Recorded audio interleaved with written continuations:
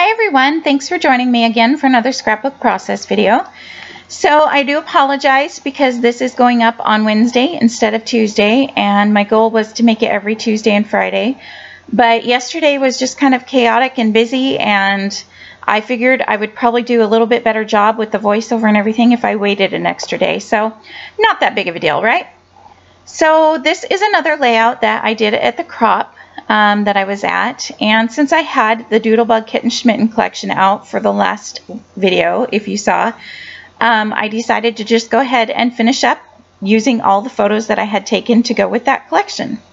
So these are three photos I have of my daughter and a little gray kitten that we had for a while when she was young. And I just cut a pattern paper strip to go along the top and you can see how the layout is how I want the layout to go. Um, basically, I wanted a strip along the top and then the three photos in a cluster on the bottom right. And then to the right of the bottom photo, I want to put my journaling. So now you can see me um, cutting this gray pattern paper piece down. And I don't measure. You're going to actually see that I probably should have measured this one. But when I want to cut a piece of paper down, I just use my fingernail to make a little mark in the paper where I want it to cut. And I just cut it there. So as you can kind of see me there, I'm just making, I'm looking for the fingernail mark and then I'm just making it a little bit easier to see for when I actually cut. So I'm going to trim that off and that is going to go on the left side of the page.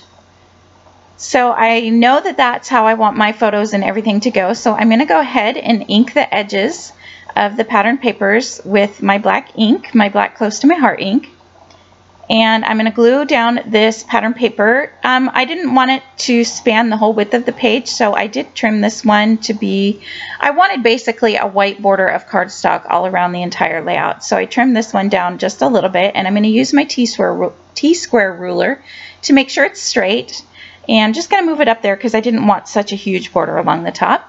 And now I'm going to ink the edges of this pattern paper. And then I'm going to glue it down and it's going to go on the left hand side of the page. And after I get this piece down, I'm going to go ahead and glue my photos. I don't know the sizes of my photos, but the two photos that sit next to each other are pretty much the same size. And then the photo that goes below them is a little bit smaller. So you can see here when I go to glue this photo on that I had cut that gray pattern paper piece down a little bit too much, but it's actually an easy fix. So you will see what I'm going to do here is just take out that pattern paper that I have along the top and I'm going to cut a strip down of this pattern paper and I'm just going to measure it down to match the top and the bottom. It was a little harder to measure from the top because there was no photo or anything there on the right. So I just measured it with the top pieces there. And I'm going to go ahead and ink the edges of this pattern paper strip. And I'm going to glue it down and it's going to cover up that gray area there that's a little bit too long. And you don't even know.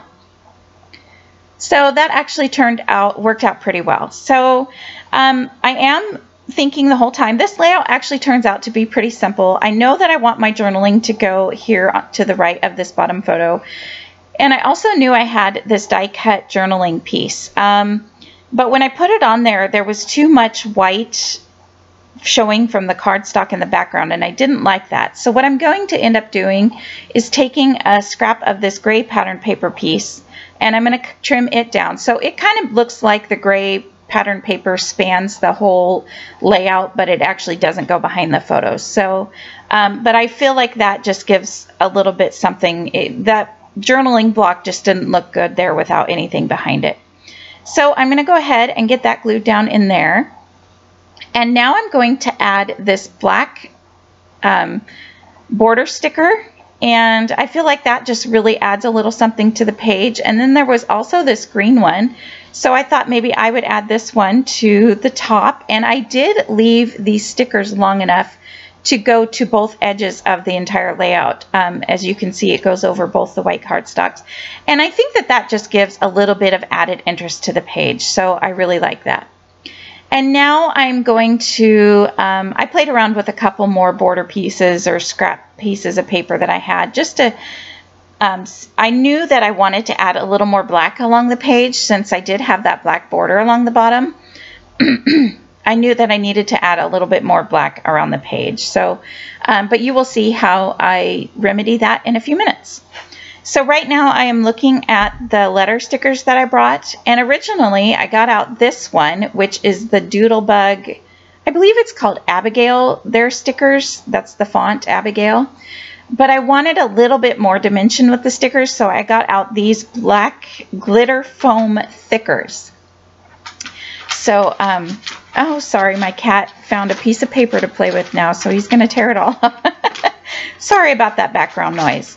So I'm just making sure that I have all the letters that I need, and I want the title to be Little Gray Kitty. Um, I just want not little, the whole word, just L-I-L. So, um, sorry you can see me chatting with my friends there. I talk a lot with my hands. It's a bad habit I've tried to get stop myself from doing, but I'm I'm getting there. So I'm just going to go ahead and add the letters now, and I love these stickers. And I've decided that I think I'm going to make it a goal for 2018 to use up some letter sticker sheets. I have a lot of half-used letter sticker sheets, and I just want to get a lot of them used up. I, I don't think I'm going to let myself buy any more thickers or letter alphabets of any type until I use up some. So I'm trying to figure out if I want to have like a prize I can get if I use up so, a certain amount, if I want to take some out and just use those until they're gone. I haven't decided, but I'll let you know. Um, leave a comment below. Let me know what, if you have any scrappy goals for 2018. I would love to hear that. So with my title being Little Gray Kitty, um, I knew that the ascenders and the descenders, I wanted them to snug together. So what you're going to see me do here is I'm going to start with the two T's in the word kitty so that I can make sure that they fit in the words, the descenders from the G and the Y. So you can see here, they are going to bypass each other just a little bit. I didn't want to put the word kitty down so far that they didn't touch at all um, because I, I, didn't want that much space in between. I thought it would look a little silly. So just making sure that the T's fit between the G, it turned out to look really cute. And I really like the way that they fit together. Um, I'm really happy with how that layout or that title turned out. So I'm just going to put those away and um, Next, I'm just going to play around with just a few things on my layout. I don't add a whole lot to this layout. It's kind of more of a simpler one. So one thing I'm going to do is take that pink tab on the sticker sheet that you can see there and I'm going to add it to the top right and I'm going to make a little cluster up there. So you can see me putting that sticker up there and I really like that. And I knew because I had that black border strip along the bottom and the black title that I wanted to bring a little bit of black up to the top right cluster just to help draw your eye around the page. But you will see how I fix that in a minute. So right now I'm playing around with this journaling box. And what I'm going to end up doing is trimming, trimming it down so that it will fit in between that little square. Um, I trimmed off the spirally top and I'm trimming off a little bit of this. You can still see a little bit of that green paw print, but I'm going to cover that up and that's going to just be another cluster area. So I'm just going to go ahead and glue this down. And I don't do my journaling at the crop. I wanted to do the journaling for this layout at home.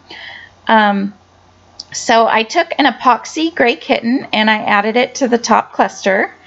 And now there was this little die cut pink heart. So I'm just going to ink the edges of this heart and I'm going to glue it down. And that is going to cover up the green paw print on that journaling strip.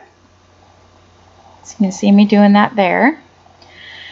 And then I am going to, what am I going to do? It's been a long time since I did this layout. the crop was at the beginning of November and we are in mid-December now. So um, it's kind of surprising that you forget how, what everything you add to a layout. But I'm going to play around a little bit. I add an epoxy sticker of a milk jug um, to that cluster with the heart.